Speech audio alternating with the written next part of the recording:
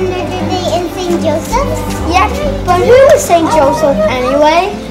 Well,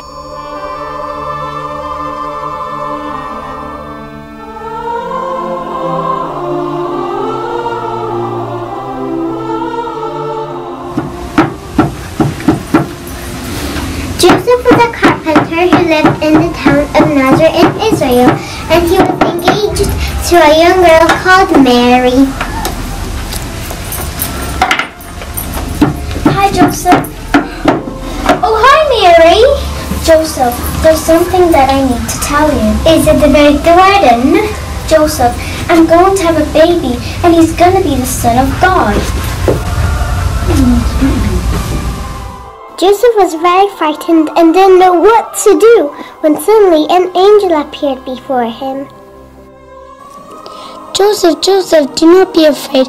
God has chosen you and Mary to raise his only son, and you must name that boy Jesus. Hooray! So Joseph and Mary were married and they set up home together to prepare for the arrival of their baby until one day the emperor called for a census so he could count all of the people in his kingdom. Hear ye, hear ye! The emperor has decreed that all citizens must return to their hometown to be counted.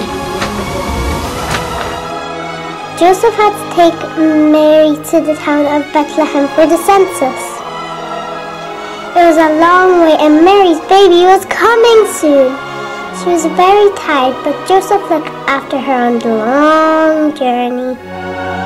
Joseph tried desperately to find a room for the night, but all the inns were full. Sorry, but we're full. Sorry, you have no room left. Oh, please! My wife is exhausted and she's gonna have a baby. I have a stable up on the hill you can stay in. Oh, thank you, sir.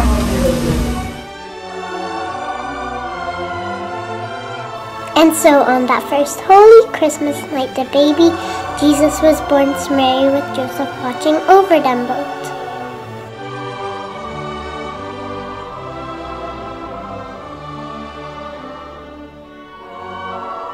Joseph also had to look after the many visitors that arrived to see Jesus. Welcome, come in. We are shepherds. We have come to worship the baby.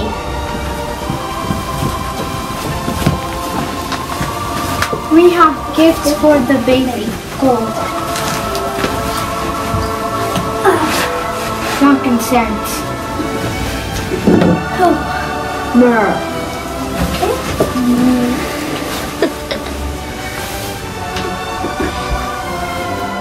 However, not everyone was happy about the birth of this new baby. The just King Herod wanted the baby killed. Find me that child who will be king. Yes, my lord.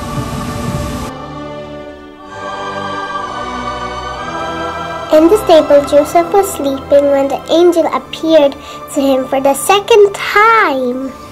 Joseph, Joseph, wake up. It is not safe for you and Mary to return to Nazareth. You must take your family to Egypt. So Joseph took Mary and Jesus in safety in Egypt, and they stayed there for a few years until King Herod died. Eventually, the family returned to Nazareth, and Joseph taught Jesus how to work as a carpenter.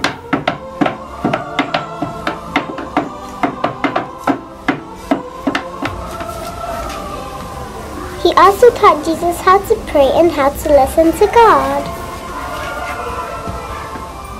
One day, when Jesus was 12, Joseph took the family to the big city of Jerusalem to visit the temple for the Jewish feast of the Passover. Lovely pots to sale. Come along, Jesus. Wow! When they were ready to go home, they realized that Jesus was lost.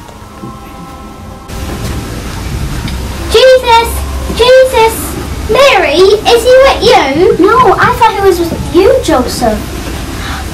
Oh, Oh. Both his parents were very worried and they looked for him everywhere. Eventually, after much searching, Joseph and Mary found Jesus in the temple surrounded by the priests. And he was teaching them about God. Jesus, we thought you were lost. You should have known I would be in my father's house.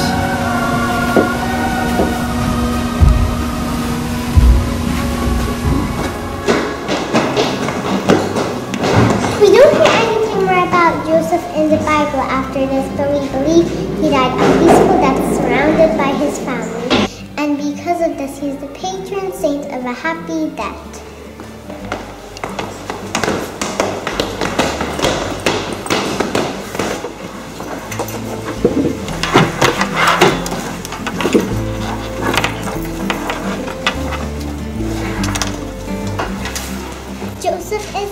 Is a protector, a provider, and a teacher to Jesus, and he's the patron saint of our school.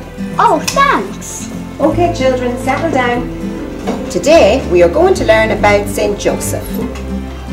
Looks like we got this covered.